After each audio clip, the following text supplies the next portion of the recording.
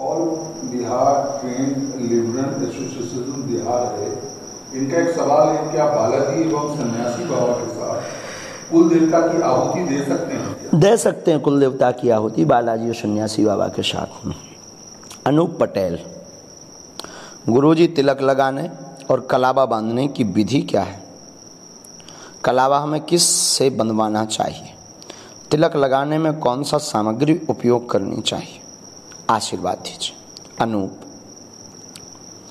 कलावा बांधने की विधि के लिए हाथ में द, दाहिने हाथ में चावल अथवा दक्षिणा लेकर के योग्य आचार्य जिसको मंत्र कंठस्थ हो ऐसे आचार्य के द्वारा अभिमंत्रित करवाकर कलावा अपने दोनों हाथों के बराबर का इस प्रकार से कलावा को नाप लें। यूँ कहें पैर से सिखा तक का कलावा नाप लें। नापने के बाद उसको तोड़ लें।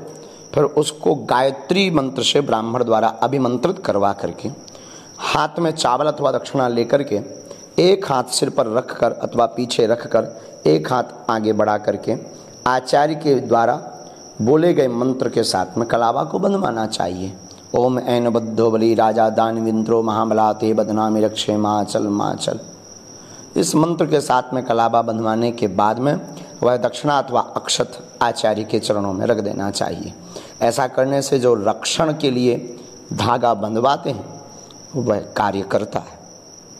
तिलक लगाने के लिए घिसा हुआ तिलक, महाराजा तिलक, अष्टगंध तिलक आदि आदि को पहले भगवान के चरणों में लगवाएँ अथवा गुरु चरणों में लगाएँ, फिर गुरु को ध्यान करके छीटा लगाएँ, फिर सूर्य भगवान को ध्यान करके तिलक का छीटा लगाएँ, फिर तिलक लेकर के जो भी आपका स्वरूप है, जो भी आप जिस परंपरा के संप्रदाय के हैं, उस संप्रदाय का मस्तक पर तिलक आचार्य द्वारा लगा सकते हैं। तिलक में बहुत ज़्यादा सामग्री तो नहीं, अक्षत का प्रयोग साथ में कर सकते धन्यवाद।